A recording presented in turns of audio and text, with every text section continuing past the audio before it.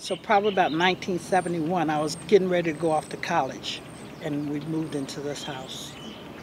And this is 14th Street. It, it still is a close-knit family where neighbor looks after neighbor, and we still have that feeling.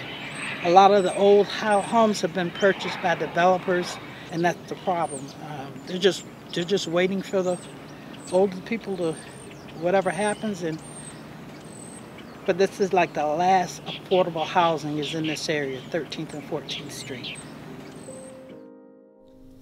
River Park is one of the last options in Naples for low income families.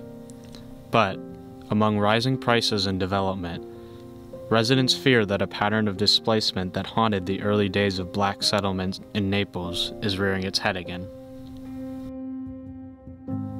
One of the first black sections of Naples was known as the Ditch Bank, a small housing community where Crayton Cove stands today. Black residents lived in the settlement until Fort Myers contractor J.C. McDonald sought to develop the land. McDonald built a housing community as a replacement for the ditch bank known as McDonald's Quarters.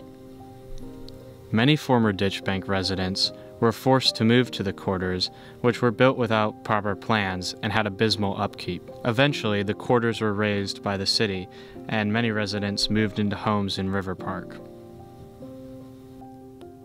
Modern River Park's demographics have shifted drastically, with more families moving on in search of cheaper living. For the neighborhood, more change seems all but inevitable.